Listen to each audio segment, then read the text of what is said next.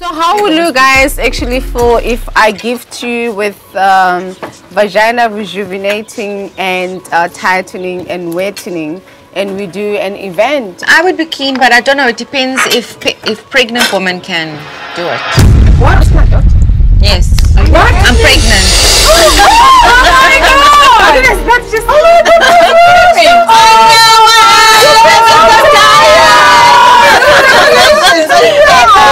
Yes, Oh, oh, oh, oh.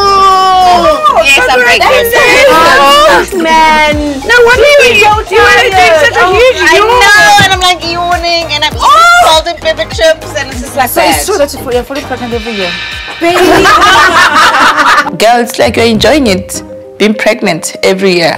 Well, we have to plan a baby shower. Yeah! I hate baby showers, but I'll do one with you both, an intimate one. Yeah. intimate. Intimate one. You can't do that big auntie thing and everybody and we all. Do you know what I mean? Uh, we do a small one. Uh, you guys can drink and we can just have a little tea. We'll drink for you. Oh, that's exciting. when you're pregnant, you're very sound sensitive, you are smell sensitive, you are drama sensitive. You don't, yeah, there's only so much I can take. My tolerance levels are not great. And they really put me through my paces. So they kind of understood my behavior and my drawn backness. So, I have a surprise for you.